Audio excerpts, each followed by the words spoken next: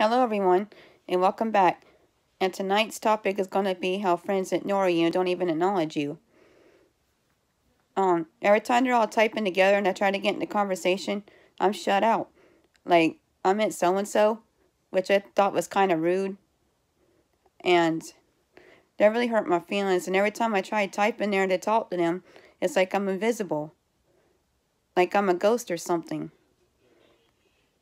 Like, it, it's, it's no fun feeling invisible. It's really not.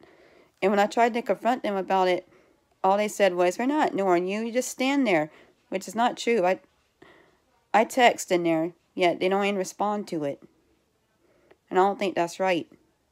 You should include all your friends. Don't leave one out. I try to include everybody. Because I care about everybody. I mean, I'm not a bad person. And they should see that.